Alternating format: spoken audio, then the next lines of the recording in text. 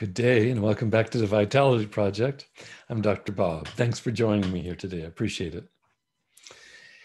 In our most recent posts, we've been examining some pretty difficult emotions and what we can do to manage them.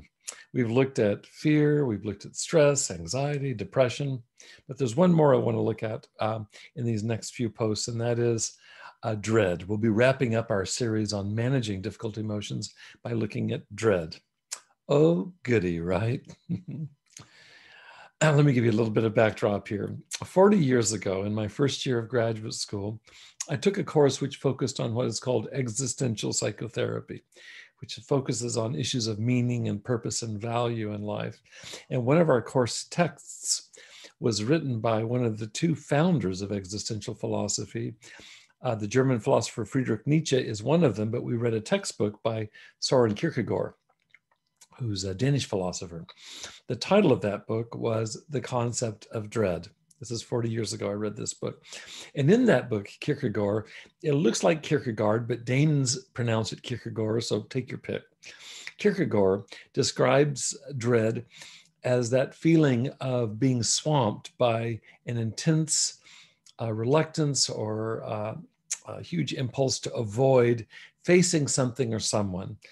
We feel dread, Kierkegaard says, when we would do anything to get out of having to deal with some situation that we're convinced isn't going to go well for us. That's dread.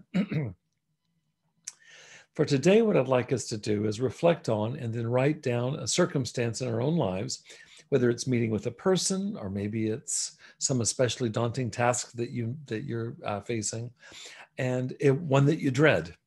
I'd like you to write down the content of this dread inside of an oval, inside of a blank sheet of paper. And then around that dreaded situation that you've identified, write down a half a dozen or so thoughts and associations that arise for you when you reflect on that dread. We're going to call this a greatest dread map. And when you complete the part of uh, that I've described, writing it down and then thoughts and associations, I want you to ask yourself uh, the following questions. First of all, how does this dread make me feel? That is, on a scale of one to 10, uh, how stressed does it make me feel, with 10 being stressed uh, to the max? Uh, the second question is Can I find any storylines associated with this specific dread? And we've identified two themes that come up in, uh, uh commonly in our storylines. One is what we call the depressor. This is something that moves me into feeling shame or self doubt. The other is the fixer that tries to figure out some way to get rid of this feeling. And so, do can you identify any depressor or fixer storylines associated with the dread that you've identified? And then thirdly, and finally for right now, can you, can you identify any inner requirements uh, which is what we're, we're, calling expectations that things should be different. Can you identify any any requirements that seem to be linked to this particular feeling of dread that you've uh, that you've uh, noticed here? Write down what you come up with. Okay.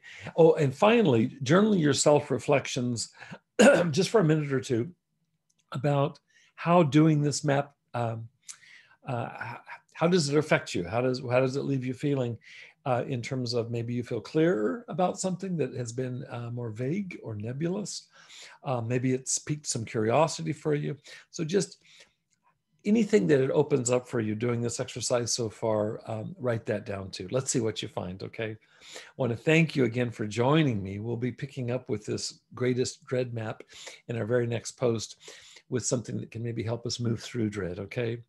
Uh, between now and when I see you next, please stay safe, be well, and I look forward to you joining me again soon.